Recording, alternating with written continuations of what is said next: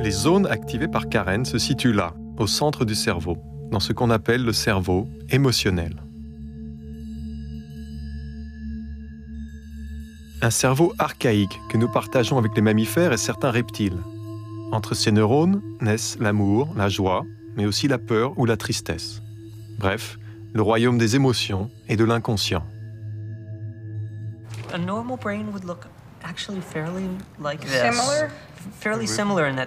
Le cerveau émotionnel de Karen a été particulièrement sollicité pendant l'expérience, car les photos qu'on lui a montrées ont éveillé en elle du stress.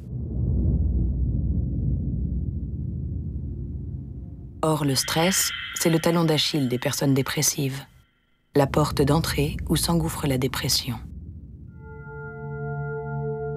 Le stress est géré dans le cerveau émotionnel par l'amygdale. C'est elle le centre de la peur. L'amygdale interprète le stress comme le signe qu'un danger extérieur nous menace. Elle réagit immédiatement en sécrétant des hormones du stress, cortisol et noradrénaline, qui vont accélérer le rythme cardiaque. Objectif, préparer le corps au combat ou à la fuite. Pendant ce temps, il se passe quelque chose dans le néocortex, et surtout ici, dans le cortex préfrontal. C'est dans cette région que s'élabore la pensée, l'abstraction, le langage, bref, le royaume de la raison et du conscient. Mais réfléchir retarderait les réflexes de survie. Donc, en cas de stress, le cortex préfrontal est débranché par l'amygdale, il s'éteint.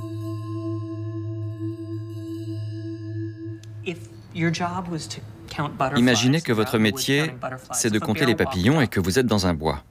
Et un ours arrive. Donc vous n'arrivez plus à compter correctement les papillons, vous prenez plutôt la fuite. Ça, grâce à votre amygdale qui a pris le pouvoir.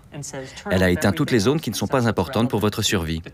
Et donc elle a éteint une grande partie de votre cortex préfrontal.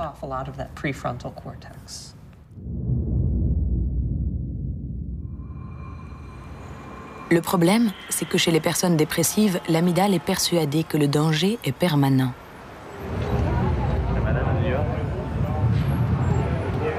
La preuve.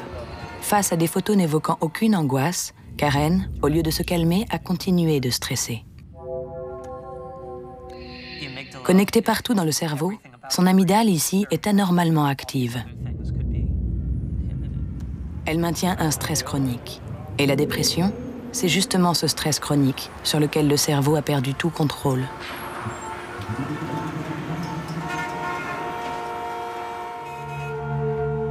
Le cerveau a perdu le contrôle car après plusieurs semaines, l'hippocampe est attaqué par l'amygdale.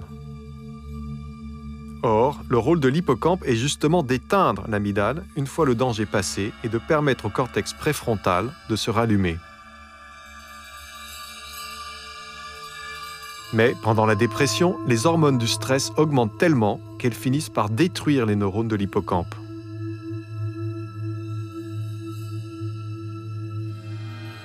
Affaibli, il ne peut plus remplir sa mission. Et le siège du raisonnement reste éteint. Les personnes dépressives sont donc coupées d'une moitié d'elles-mêmes.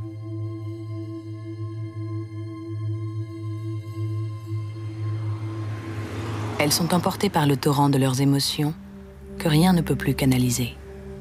Ni volonté, ni recul, ni raisonnement. Le raisonnement, il est faussé par euh, la dépression. Et au lieu de voir le verre à moitié plein, je le voyais toujours à moitié vide.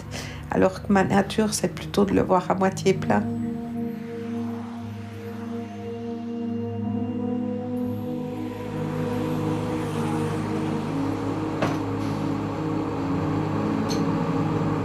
J'arrivais pas à raisonner mes, mes émotions, j'arrivais pas à, à, me motiver puis à me dire ben voyons Mélissa, lève-toi, fais quelque chose, prends-toi en main. C'est c'est pas un bon conseil à donner non plus à une personne qui est dépressive.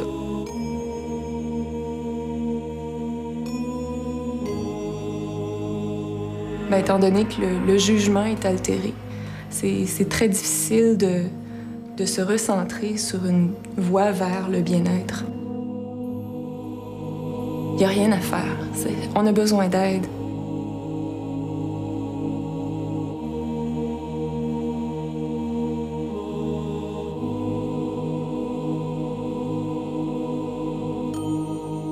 Se confier à un psy soulage. Mais jusqu'à quel point? Les avis divergent. Le problème de traiter la dépression par la psychanalyse, c'est que comme le montrent les études de neurosciences sur des patients déprimés, la région du néocortex responsable du langage est très sous-activée dans la dépression. Il est donc très difficile d'avoir accès au cerveau en passant par le langage chez les patients déprimés.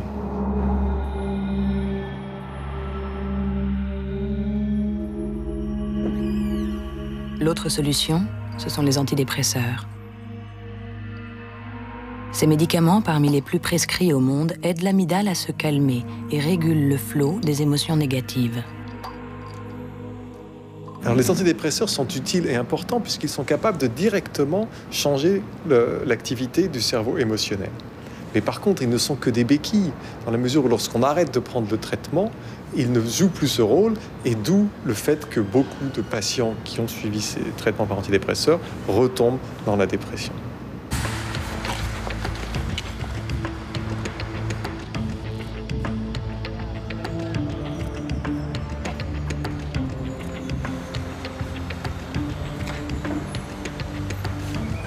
Certains psychiatres proposent donc des solutions différentes pour aider les personnes dépressives.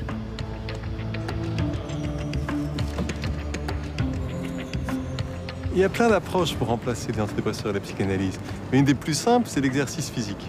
Une étude de l'université Duke a montré que 30 minutes d'exercice physique trois fois par semaine avaient un effet exactement identique à celui d'un antidépresseur. Au bout de 4 mois, le même nombre de patients avaient récupéré. Simplement, quand on regardait, un an plus tard, ceux qui s'étaient soignés avec un antidépresseur et avaient arrêté, un an plus tard, 40% d'entre eux avaient rechuté. Alors que ceux qui s'étaient soignés avec le sport, seulement 8% avaient rechuté, c'est-à-dire 4 fois moins.